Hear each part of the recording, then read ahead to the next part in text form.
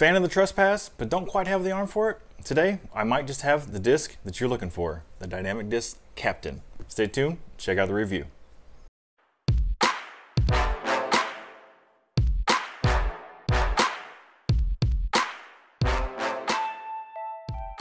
All right, the Captain from Dynamic Disc. What is it? What does it do? How does it fly? Well, let's find out. With a speed of 13, a glide of 5, a turn of neg 2, and a fade of 2, it is going to be high speed, understable, but low speed, stable. What do I mean by that? Well, for most most players around the 300 to 350 mark, and, right in that area, you're going to see a nice straight flight with a predictable fade at it. If you once you get above that 350 foot mark, you're going to actually see a lot of turn out of the disc. But as soon as it starts slowing down, it'll come back. Uh, for you big arms out there, you know, 375, 400, you're going to see really long hyzer flip turnovers that'll have just enough stability to come back to flat, but you're really going to enjoy it for those max distance tailwind, just big flexing turnover shots. So being a high speed distance, max distance driver, it'll definitely be uh, a bigger rim. Not too bad though. Uh, it's going to be really similar to a trespass in a lot of ways. Uh, if you're looking for a straight disc comparison right off the bat, every time that my dis my trespasses get beat up, I hand them down to my son. And this out of the box flies to me just like a beat in trespass, uh, which is absolutely amazing. So those of you out there that have tried trespasses and you're like, mm, I don't know, this might be too much for me, I highly recommend giving the Captain a try. How does it fly? You want to see it? Oh, okay. Oh, yeah. Well, here's me and my boy. We're out in the field throwing. Uh, I'm going to have release angles and let you see how we're throwing. And uh, yeah, check it out. We'll catch you when you come back.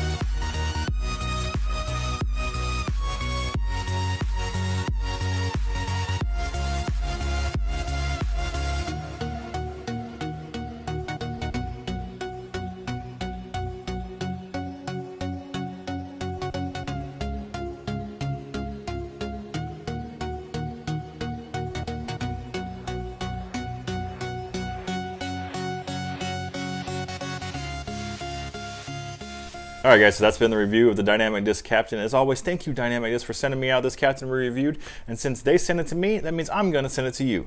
What do you got to do? Well, as always, be a subscriber, like the video, and share it.